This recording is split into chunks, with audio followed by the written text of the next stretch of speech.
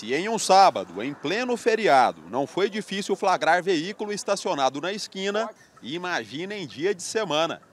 E olha que a gente circulou por menos de 30 minutos pelo setor Campinas. De carro popular a carro de luxo, a infração é democrática, com impactos para todo o trânsito. O pessoal aqui não respeita, isso prejudica muito o trânsito aí. Eu estacionei sem perceber que eu estava na esquina. Atrapalha muito o pedestre, o próprio trânsito né, em si. Visibilidade. Visibilidade, com certeza. Bom, mas se a gente for falar de todas as irregularidades por aqui, o Código de Trânsito Brasileiro sai gabaritado.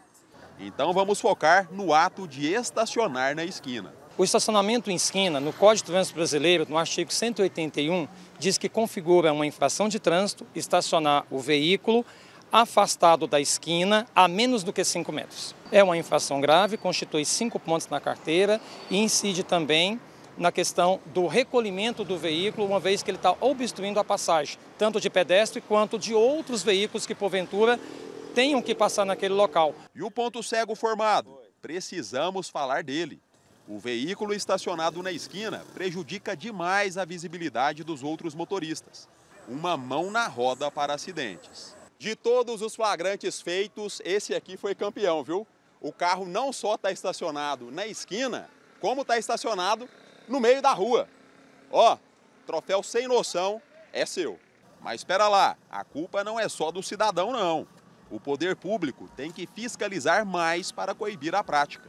E também tem que ser mais estratégico ao conceder a permissão de funcionamento para comércios em geral. Libera muitas vezes o alvará de funcionamento de um polo atrativo de trânsito que não dispõe de vagas suficientes para atender a rotatividade dos seus clientes. Polo atrativo de trânsito seria igrejas, supermercados, shoppings, eh, faculdades, camelódromos, tudo aquilo que vem atrair o público em geral que costuma se deslocar com seus veículos de forma individual. No fim das contas, para evitar a infração, o motorista precisa se planejar preparar a rota, sair de casa com antecedência e consultar os aplicativos de trânsito.